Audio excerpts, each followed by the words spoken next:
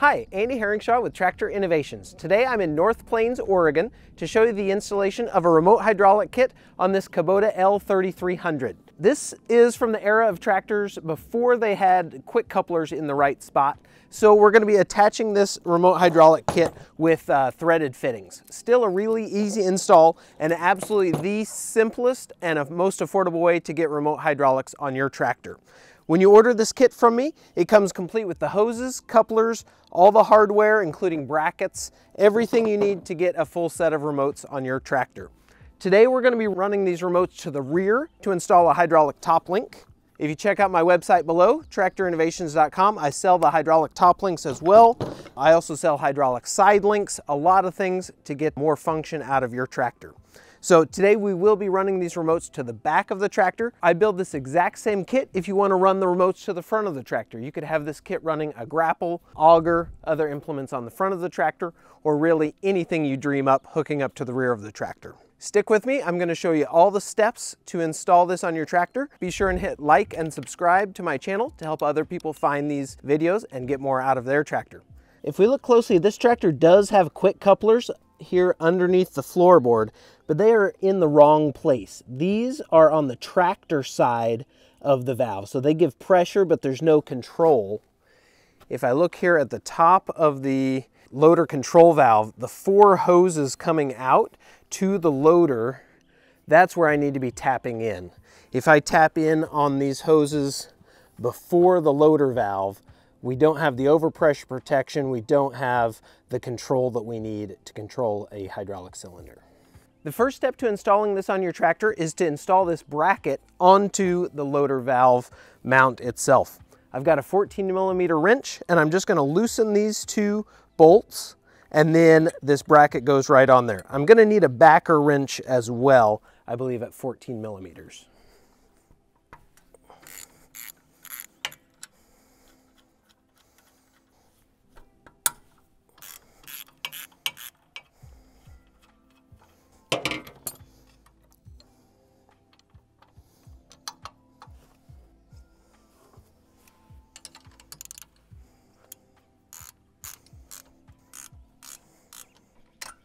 It's now time to mount the valve onto the bracket. So I've got the hardware, that's lock washers and washers here in my magnetic bowl. And I'll take this valve and just go ahead and unspool all the hoses, get it nice and laid out so we can make sense of it.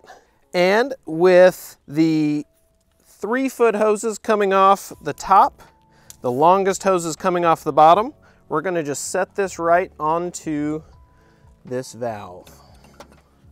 Gonna set it right onto the bracket. And I can put on a washer, lock washer and nut onto each bolt. And I'll tighten that up with a half inch wrench. Now it's time to hook up the hydraulics from your loader circuit into this diverter valve. So you've got two long hoses coming off the top these are gonna connect right back up here where the rubber hoses meet the steel lines on the loader arm. And the hoses that are here now are gonna curl back and connect right here to these input fittings going into the diverter valve. I'm gonna show you how I disconnect these two quick couplers. Now before you disconnect anything on the loader, I want you to take your loader control and move it to all four positions to make sure there's no pressure in that loader. And that's with the engine off, of course. Relieve all that pressure so that loader can't move on you. So very little fluid should come out.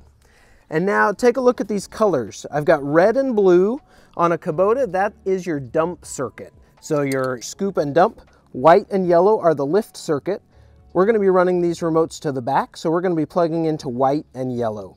So I'm gonna take a 5 8 and 11 16 wrench and loosen this fitting right here. And to have enough room to work in here, I normally like to do these one at a time. So I would take this white one, connect it to the switching valve and completely do that hose before I move to the other. But there's not gonna be room to get in here with a wrench. So I'm gonna move the white one, move the yellow one, and then come back. And so here's my white hose that originally went to the connection on the loader arm. This white hose that's disconnected from the loader arm is gonna connect right here to this threaded fitting. With the swivel fitting, they seal up internally, so we don't need thread seal tape and you don't need to crank these really, really tight. So when connecting these, put just a little bit of wrist strength in it, but do not put your whole arm into it. That's all it needs right there. All right, white hose is connected. That means when we go to connect the return line to the front, on the front set of fittings is gonna be our white. The rear set of fittings is going to be our yellow. So let's go ahead and get the yellow off of the loader arm and then we'll bring it back to this port.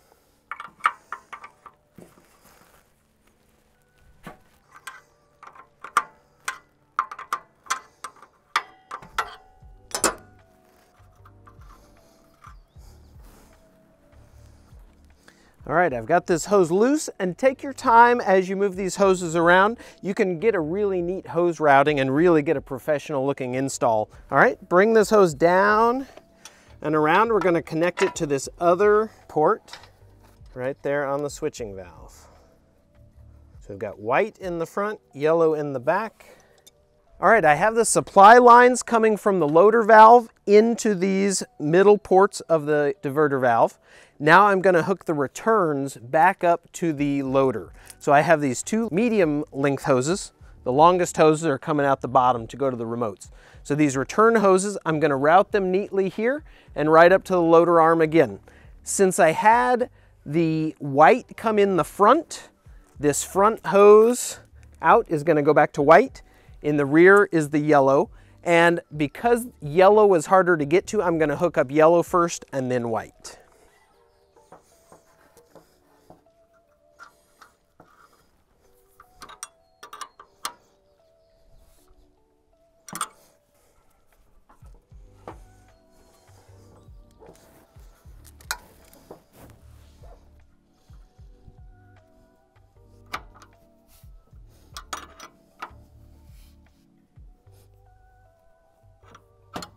Now it's time to install the knob, so make sure you've got your lock washer on your knob there and thread it into the piston.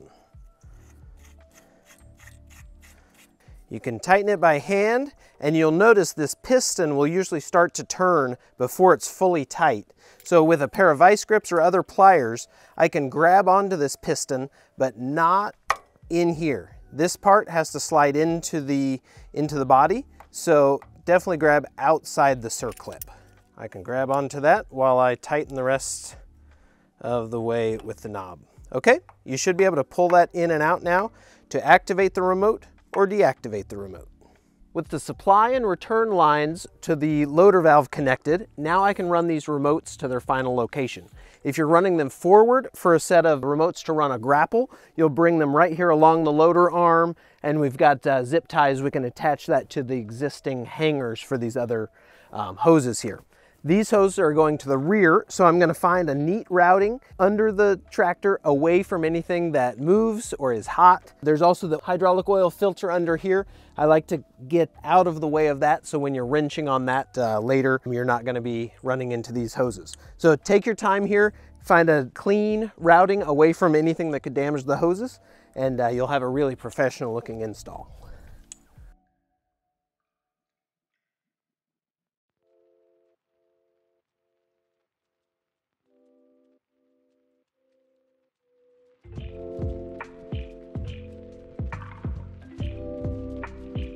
Okay, I have the remotes run up inside of the rollover protection. This is a really good protected area, and I've got those hoses nice and neat. So I'm gonna be looking for a location that I can mount this bracket. This end mounts to the tractor, and then these quick couplers slide into this bracket using these U-bolts. So on the tractor side, I mount with any of these holes. I can also include a bracket that would attach it to your rollover protection with a set of bolts here. This tractor has a really nice little toolbox here with a couple bolt holes underneath it. So I'm just gonna go to that bolt hole and uh, attach this bracket right there and the couplers can sit underneath it just like that. Let me get all my bolts. I've got them here in the magnetic tray. So that shorter bolt, one inch bolt, is going to attach this kit to the toolbox of the tractor.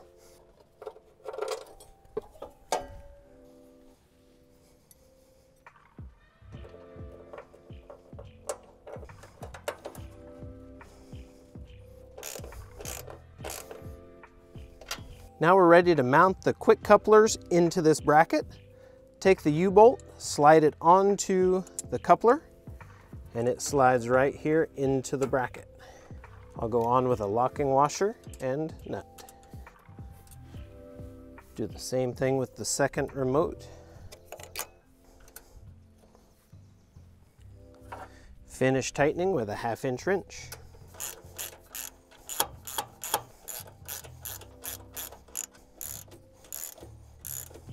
All right, installation of the hydraulic kit is basically complete, the last thing to do before you call it totally done is to grab one of your quick couplers that comes with the kit. It might be attached to a hose or something for your implement already, and make sure these connectors are able to connect. You just shove in to connect the quick coupler, pull out to disconnect.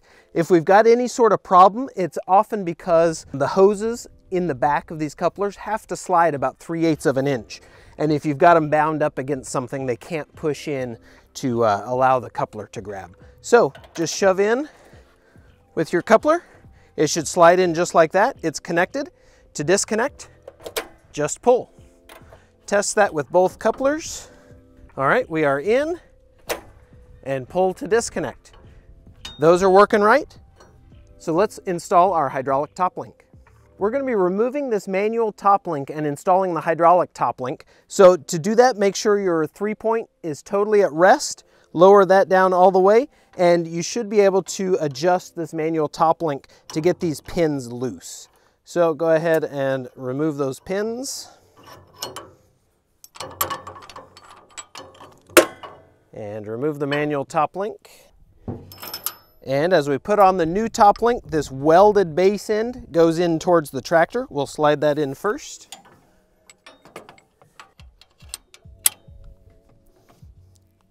All right, to finish connecting this, we don't have quite enough play in this uh, brush hog, so we will need to get on the tractor and use the hydraulics to extend this top link. When you do that, be extremely careful. Do not have your hands anywhere near the moving parts especially because with brand new hydraulics, there's air in here. Things can move a little more erratically with brand new hydraulics. They should be a little more reliable after you've run them, get all the air out. Go ahead and connect these connections and then we'll get on, fire up the tractor and move this out just about four inches and then we should be able to connect it well. All right, hydraulic top link is hooked into the tractor hydraulics and will move when I use the uh, switching valve. And if you don't like the way it's moving, I love to set them up so that when you're pulling back on the lever, it's pushing out on the top link. Totally intuitive. If that's opposite of what you like, just swap these rear couplers and it'll change the way it operates.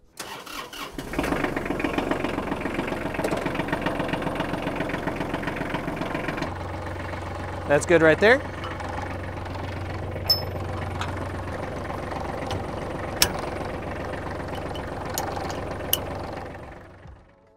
All right, the last step to really clean up this insulation is to take these hoses that are drooping under the tractor and zip tie them up out of the way so that everything's safe and nothing is rubbing.